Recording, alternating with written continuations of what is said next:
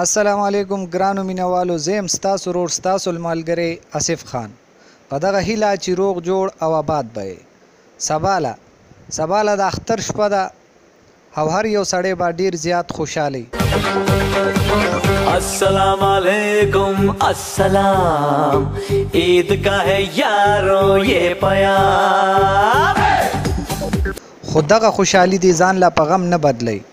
او هوایی فایرینګ دی بالکل نه کوي او چې څوک هم د هوایی فایرینګ کوي نو پلیز مهرباني دی وکړي او دا ویډیو دی وګوري نو بعد دا غینا دی هغه خپل خوخه کوي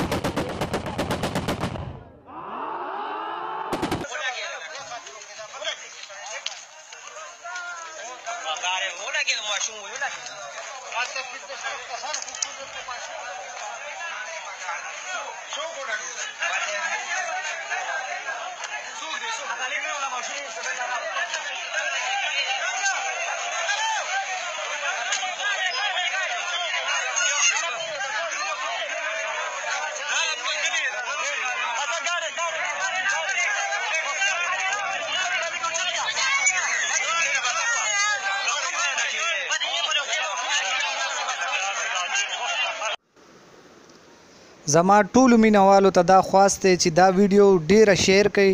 چې ټولو پښتنو او ټولو رونو ته ورسیږي الله مو آباد او خوشاله لره د الله فامان